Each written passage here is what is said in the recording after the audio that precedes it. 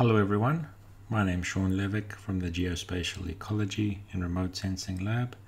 This is our environmental monitoring and modeling course and today we're going through Lab 10, the last lab in this particular series, communicating Google Earth Engine discoveries. The objective of today is to get an overview of different ways of communicating discoveries that you make in Google Earth Engine, including the publishing of maps, charts, and animated time-lapse videos. I'd like to acknowledge the Google Earth Engine developers, as well as the Open Geo blog. The link to that blog is here, where some of this information comes from, uh, particularly the snippets of code here for adding legends to maps. So we've used the mapping feature of Earth Engine in all of our previous labs using the map add layer command. Um, one aspect that we haven't covered so far is how to add a legend to a map. In general, I tend to export my maps, my Earth Engine images and maps as a GeoTIFF and then work with it in QGIS to produce a publication quality map. But sometimes we may want a faster way of communicating an image or a map and for that it's useful to be able to add a legend right within Earth Engine so that we can export just a, a JPEG or take a screenshot and convey that information. So I've provided two snippets of code here from the OpenGeo blog and um, the first is for uh, printing a legend for categorical data and you can see that this is now leaning towards the heavier end of the JavaScript programming in our course at least. But in general, we're just defining where we want the panel to be, uh, details about the legend, and how we want to behave. So if we copy that, paste it into a empty um, Google Earth Engine script, paste and run it, you'll see that we've effectively printed a legend to the bottom left corner um, and we've defined a palette with some variable names.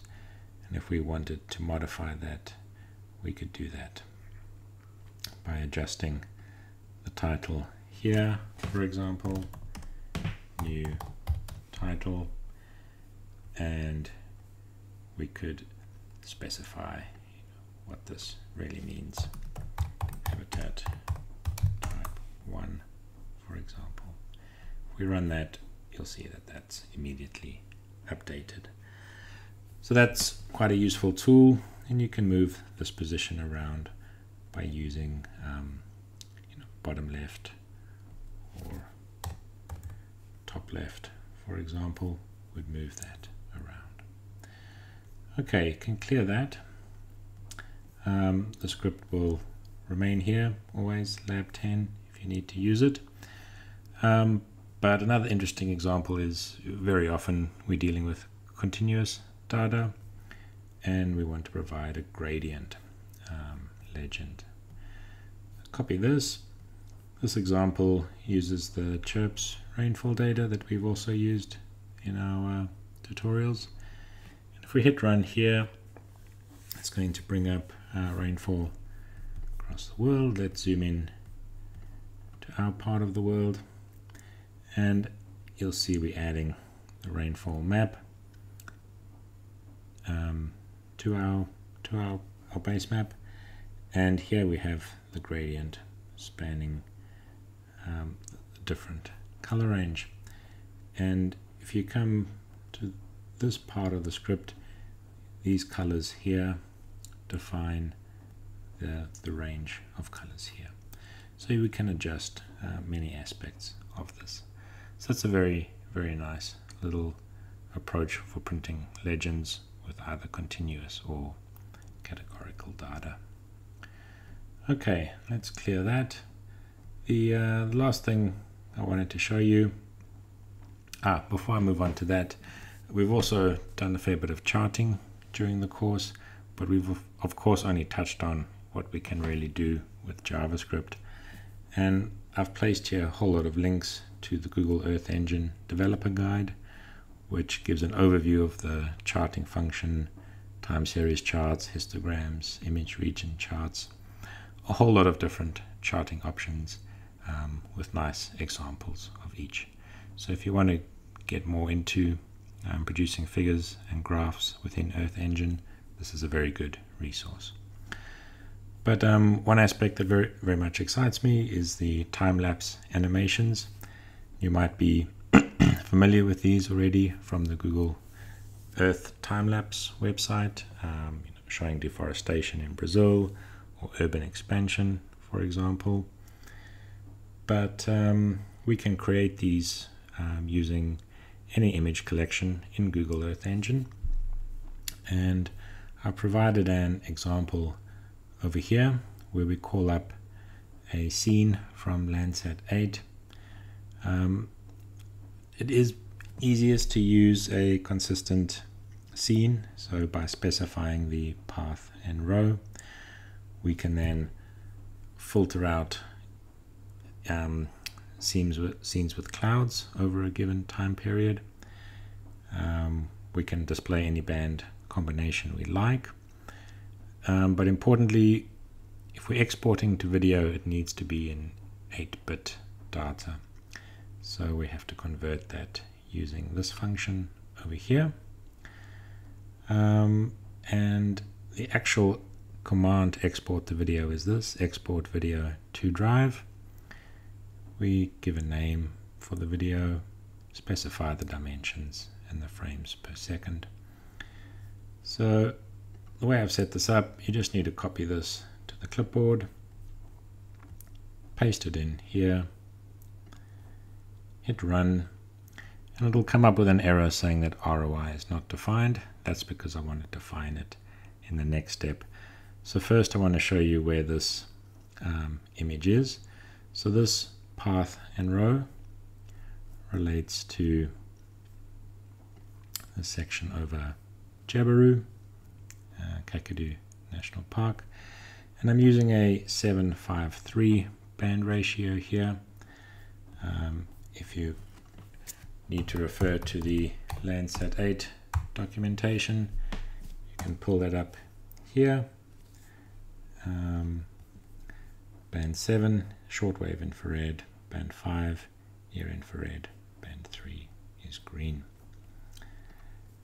Okay, um, if we wanted to move this, so um, we, we querying what we've brought up here is every single Landsat image over this area, and we've taken the median reflectance value on a per pixel basis, but we've excluded clouds with more than 10% cloud cover.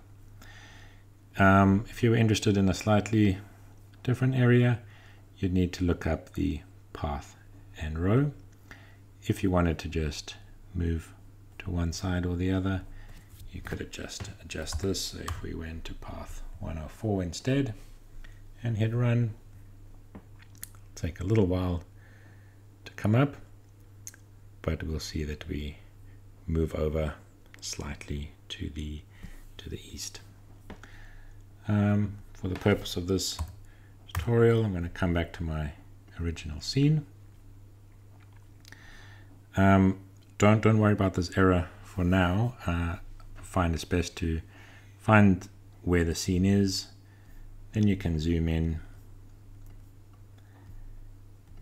and once you've found an area you're interested in, and you're sure that it's covered within this single tile, you can then use the geometry tool to draw an ROI.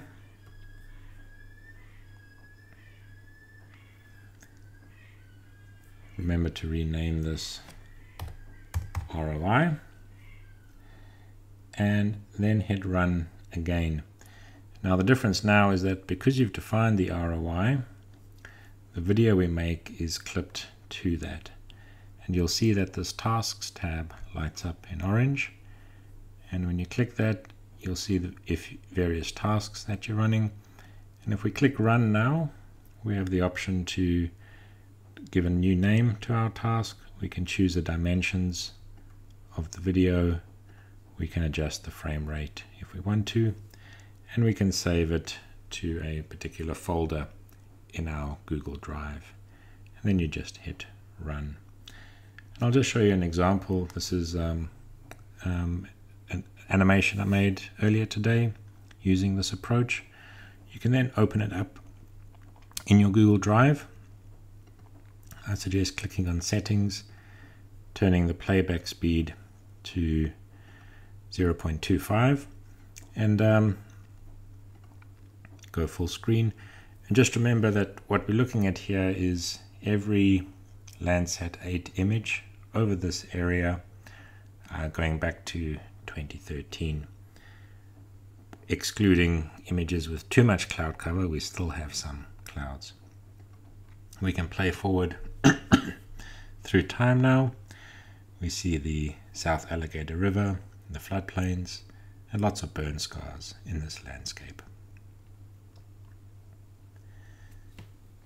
So this is a very nice tool for communicating how dynamic landscapes are, particularly in these tropical regions of the world.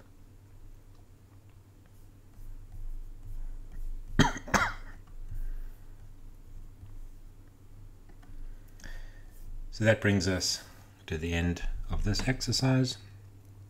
I'd like you to try to modify this code and create a time-lapse video export of mangrove dynamics along the coast of the Gulf of Carpentaria.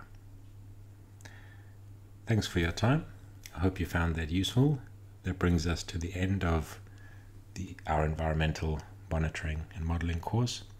I hope you found it useful and that you're able to apply what you've learned here for environmental and ecological investigations wherever you might be.